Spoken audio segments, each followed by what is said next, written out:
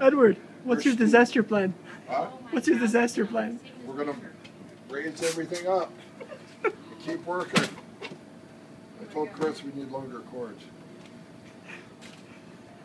All right, buddy. All right. I hope to see you tomorrow.